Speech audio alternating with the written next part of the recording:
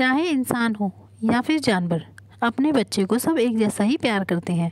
वे उनकी रक्षा के लिए कहीं से भी दौड़ पड़ते हैं। जैसा कि इसी वीडियो में स्पष्ट नज़र आ रहा है ये गौरीला अपने बच्चे के परेशान करने पर भी गुस्सा होने की जगह खुश होता हुआ नज़र आ रहा है। अक्सर जंगली जानवरों को अपने बच्चों को खाना खिलाते हुए या उसके दुश्मन से भगाते हुए जैसा कि इसी वीडियो में दिख रहा है ये गौरीला अपने बेबी को कितने प्यार से सुलाने की कोशिश में लगा हुआ है। बिल्कुल एक इंसान की तरह।